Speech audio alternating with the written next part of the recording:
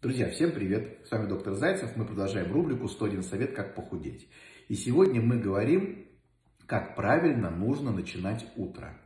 Это действительно а, основополагающий момент. А, вскользь я а, в предыдущих роликах об этом уже говорил, но давайте еще проговорим один раз конкретно и подробно.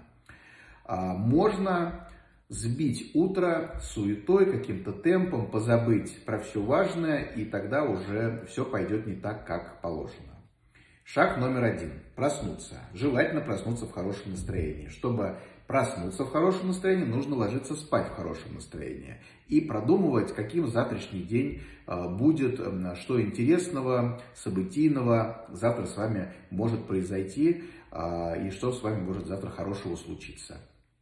Проснулись а, сходили утром в туалет, ушла лишняя жидкость из вас и тут же встали на весы. Это очень важно. Вы понимаете, в каком весе вы находитесь сегодня. Это как курс доллара или евро, который, безусловно, меняется, а, но и вес ваш тоже меняться будет в течение дня. Но а, стартовая точка – это точка утренняя, поэтому до принятия пищи, до а, еды, до питья, сходив в туалет, находясь еще в ночной рубашке вы взвешиваетесь. Вес известен. Следующий шаг. Вы идете на кухню, выпиваете, э, если вы взрослый человек, не подросток, два стакана, причем стакана больших, даже вот не таких, 200-250 миллилитров, а стаканы по 400-450 миллилитров, это прямо достаточно большая кружка, такая а пивная, да, керамическая кружка воды, кипяченой теплой воды. Перед этим можете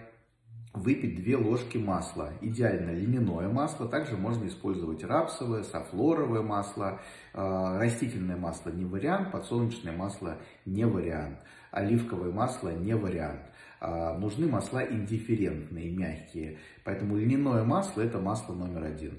Маленький глоток воды, потом 2 столовые ложки а, льняного масла и потом выпиваете раз кружку воды, два кружку воды. Можете выпить третью кружку, это идеально. Готовитесь к завтраку, выкладываете на стол все те ингредиенты и все те продукты, которые вы съедите на завтрак. Не стесняйтесь, есть, ешьте полно, обильно. А, а вот та жидкость, которая у вас уже находится, она не даст вам переесть. И она спровоцирует, собственно говоря, физиологические позывы. То есть вы сходите в туалет по большому и по маленькому. И вот такой подход утренний оптимален. Друзья мои, прошу прислушаться и взять эту методику на вооружение. Slovenia.